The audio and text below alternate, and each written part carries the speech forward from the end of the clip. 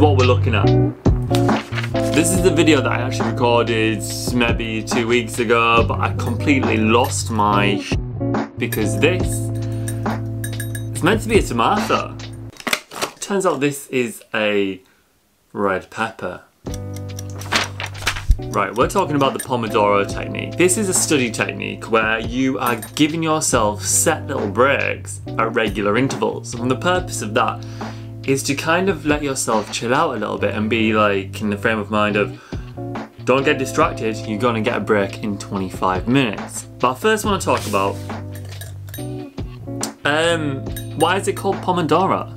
So, the name Pomodoro comes from an Italian word meaning tomato, tomato, and it's based upon these little tomato timers. This is meant to be a tomato which are used in Italian cooking. You just set it to your timer and bish bash bosh, off you go.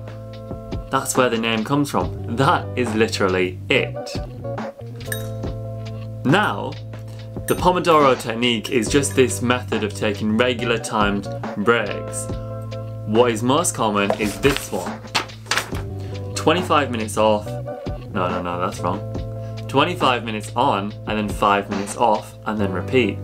So you have regular breaks. This is amazing for anyone like me who struggles to concentrate and to not let yourself get distracted because you're going to have that 5 minute off. So it's really easy to stay focused for 25 minutes.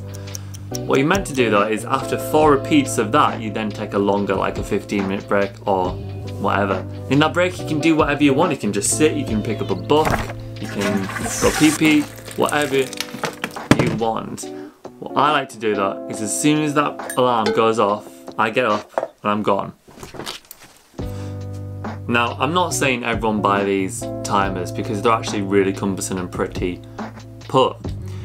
I thought I was buying a tomato, I specifically ordered it off eBay to get a tomato timer for the purpose of this video and yeah, that's a pepper. So, I'm not saying get one of those and use that. You can just use your phone. Set little timers on your phone, like doing your uh, stopwatch. Or you can get dedicated apps. And now uh, there are a few apps which I really like. Like there's, if you just search Pomodoro technique, there's this one which is really nice and bog standard. It's a little bit like the timer as you can see. It's just called Focus Keeper. And then there are other ones as well where you get little trees and whatnot. It's, it's really simple. But the more simple you keep your studying technique, the easier it's going to be to actually do because like what you're studying is complicated.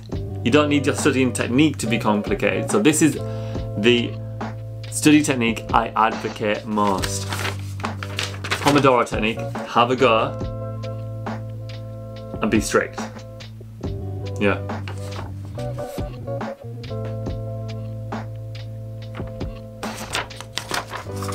I think we're done now.